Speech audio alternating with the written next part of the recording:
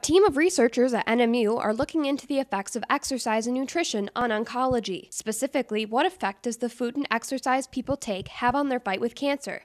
Or even those family members involved in the fight. With the cancer diagnosis in general, it's sort of a life stopping uh, event and what we hope to do, uh, focus on, is the physical and the, and the psychological. The focus of the research is on non traditional exercise, such as being outdoors, and psychological and physical effects that occur in the time after diagnosis. If we can get individuals um, to do some form of exercise, usually they'll start with traditional forms, and then we hope to psychologically uh, get them outside into different, maybe even slightly uncomfortable types of situations, uh, totally still all by choice, uh, and that can positively affect their psychology. Exercise and nutrition is supposed to distract from the diagnosis and allow focus on overall health which hypothetically helps the person better fight the disease. What we hope to focus on is the simple of just getting back into a daily life where health and physical activity and psychology are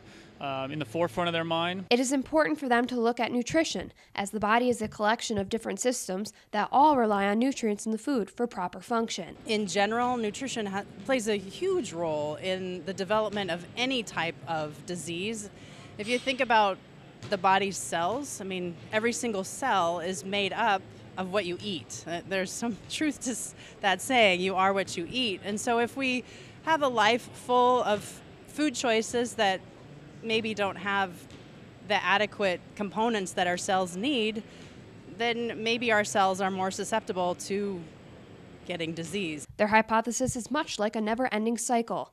The motivation to start working out contributes to better physical being, which in turn leads to better psychological being and overall better health, improving the fight against cancer. One of the things that is super important is the psychobiology of what's going on because there is this mind body connection and it definitely plays a major role in what's going to happen with a survivor's progress. There, and also nutrition wise, um, if we bring that in, they're more focused on their well-being than the uh, diagnosis originally. And, and so in the long term, that dovetails into helping them stay healthier. The participants in the study will range from 18 years old and older.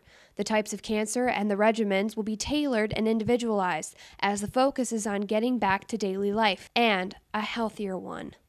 Reporting in Marquette for ABC 10 and the CW5, I'm Chelsea Dickens.